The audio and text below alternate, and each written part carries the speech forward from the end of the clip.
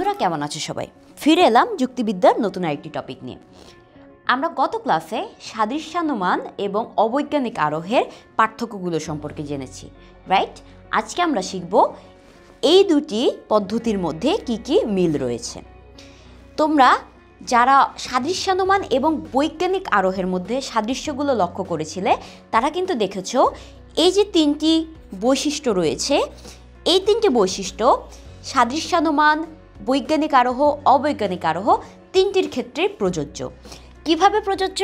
আমরা গত ক্লাসগুলোতে এটি নিয়ে কথা বলেছি, আজকে আমরা আরেকটু কথা বলি। প্রথম কারণ, এই যে তিনটি পদ্ধতি আমরা দেখছি, সাদৃশ্যানুমান, অবৈজ্ঞানিক আরোহ এবং বৈজ্ঞানিক আরোহ, এই তিনটি হচ্ছে প্রকৃত আরোহ। এই তিনটিকে আমরা প্রকৃত আরোহ এই কারণে বলি, কারণ তিনটির ক্ষেত্রেই আমরা আরোহমূলক লম্ফ দেখতে পাই। আরোহমূলক লম্ফ সেই জিনিস যেখান থেকে আমরা কিছু জানা তথ্য ব্যবহার করে একটা অজানা সিদ্ধান্ত গ্রহণ করি। এখানেই বলা হয় বা এটাকে আমরা বলি আরোহমূলক লম্ফ এবং এটি সাদৃশ্যানুমান এবং অবৈজ্ঞানিক আরোহ দুটির ক্ষেত্রে সত্য। যেমন একটা উদাহরণ দিয়ে আমরা বলি যখন আমরা বলি গাছ এবং মানুষ, দুটি জিনিসেরই জন্ম আছে, বৃদ্ধি আছে এবং মৃত্যু রয়েছে। তাই গাছ এবং মানুষ, মানুষের যেহেতু প্রাণ আছে, তার মানে গাছেরও প্রাণ রয়েছে। দেখো, এখানে যেটা হলো, আমরা আমাদের কিছু জানা তথ্য ব্যবহার করেছি। আমরা দেখেছি যে গাছ এবং মানুষের মধ্যে এই এই এই সাদৃশ্য রয়েছে। জন্ম, মৃত্যু এবং বৃদ্ধি। তারপর আমরা একটা অজানা সিদ্ধান্ত নিয়েছি যে যেহেতু জন্মের সাথে সম্পর্কিত বৈশিষ্ট্যগুলো মানুষের মধ্যেও আছে এবং গাছের মধ্যেও রয়েছে, তাই মানুষের প্রাণ যেখানে রয়েছে, তাই গাছেরও প্রাণ থাকার কথা।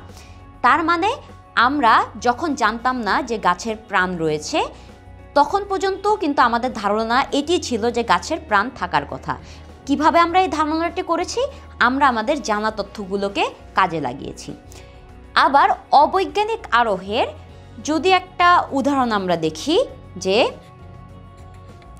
সব কাক কালো। এখানেও কিন্তু আমরা আমাদের জানা তথ্যটা কাজে লাগাই। আমাদের জানা তথ্য কি? এখন পর্যন্ত আমরা এমন কোনো কাক দেখিনি যেটা কালো ছাড়া অন্য রঙের। বা পৃথিবীর মানুষ কোনো কাক এমন দেখেনি যেটা কালো নয়। এটি কিন্তু আমাদের জানা তথ্য। সেখান থেকে আমরা একটা অজানা সিদ্ধান্ত গ্রহণ করলাম যে সব কাক কালো।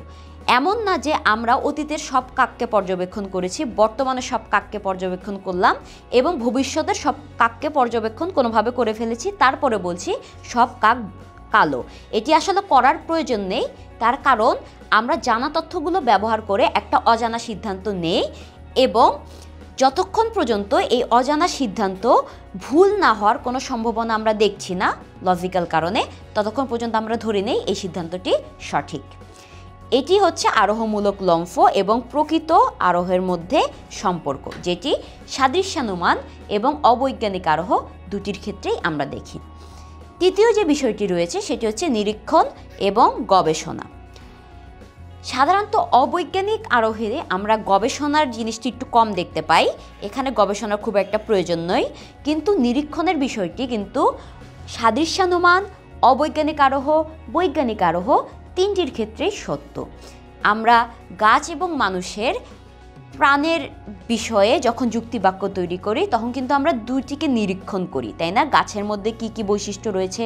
মানুষের মধ্যে কি কি বৈশিষ্ট্য রয়েছে? তাদের সাদৃশ্য কোন জায়গায়? এটি কিন্তু একটা নিরীহ নিরীক্ষণ। তারপরে যখন আমরা বলছি, সব কাক কালো, এটি করার জন্য কিন্তু আমাদের কাকদেরকে নিরীক্ষণ করতে হয়েছে। আমাদের দেখতে হয়েছে যে এমন কোনো কাক রয়েছে কিনা, যেটি সাদা রঙের বা যেটি অন্য কোনো রঙের। এ কারণে আমরা বলছি যে নিরীক্ষণের ক্ষেত্রে সাদৃশ্যানুমান এবং অবৈজ্ঞানিক আরোহের একটা মিল রয়েছে।